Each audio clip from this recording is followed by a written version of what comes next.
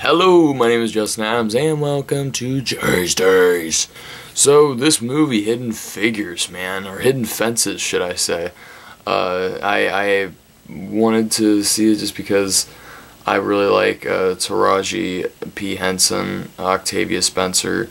I heard Pharrell Williams is doing the, the songs, and uh, Theodore Melfi, I think that's how you say his name, he wrote and directed St. Vincent with Bill Murray, which I didn't think was all that fantastic. I, I liked it for what it was. I like Bill Murray a lot, and Melissa McCarthy was really good in it, but overall I thought that the movie was a little sappy.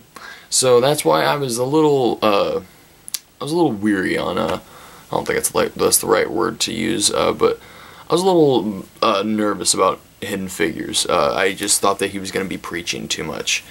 Uh, but I, I saw it, and dude, this movie is good. Move like that. Katherine, we all gonna end up unemployed riding around in this pile of junk. You're welcome to walk the 16 miles. Or sit in the back of the bus. You kiss me up. You have identification on? We're just on our way to work at NASA, sir.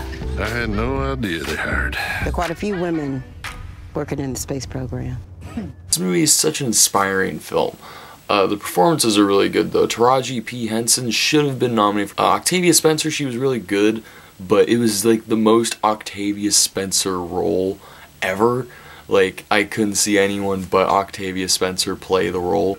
There are some amazing moments in this movie. Kevin Costner is really good. This movie mostly focuses on uh, Taraji P. Henson's character, who is uh, Katherine G. Johnson. Who this is a, this is ba- this is based on a true story. These are all real people, and so the movie mostly centers around her. But there's also uh, Dorothy Vaughan, played by Octavia Spencer, and Janelle Monae, uh, and uh, Mary Jackson, played by Janelle Monae, who we barely see her, and she has like the she she's like the most. Uh, uh, charismatic character out of all of them too. There's some powerful moments, and this movie truly shows how hard it was back then, man, to not only be uh, uh, to be black, but to be a woman, to be a black woman, and uh, especially in an all-white place like NASA, uh, where it's mostly just dudes in ties, and it's it's a, very very inspiring movie. Is going to be playing in schools. People, teachers are gonna love this. It's gonna it's it, it's it's a nice inspiring movie. This review sucks so hard.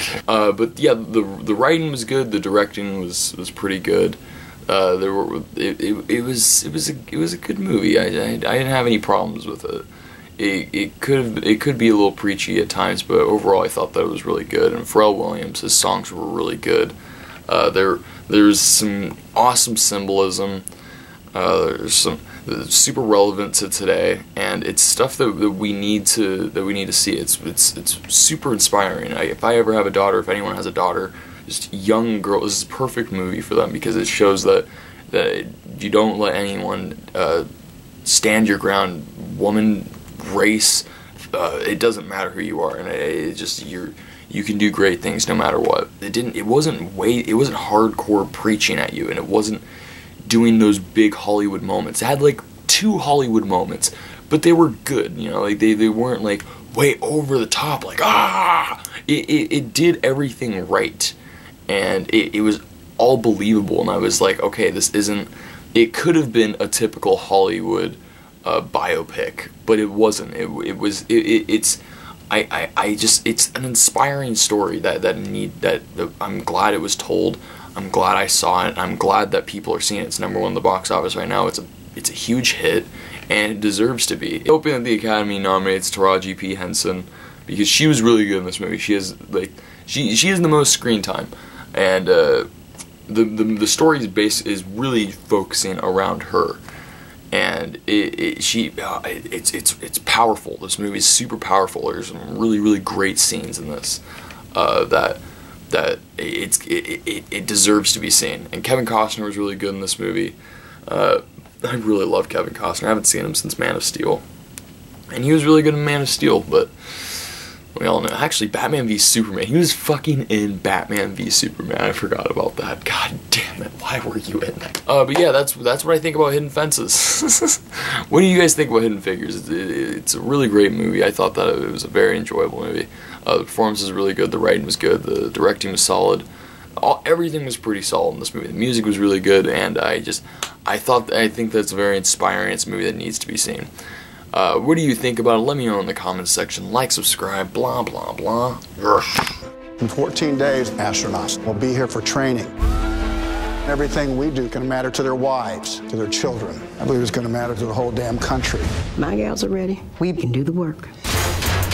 That's John Glenn. What do you ladies do for NASA? Calculate launch and landing, sir. Engineering. And I'm proud as the devil to be working with you. How could you possibly be ogling these white men?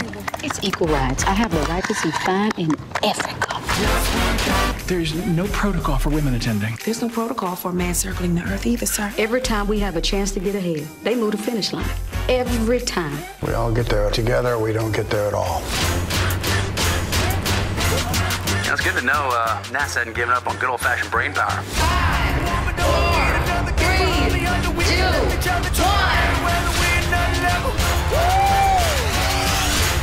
Let me ask you, if you were a white male, would you wish to be an engineer? I wouldn't have to. I'd already be one. Don't you know that we're able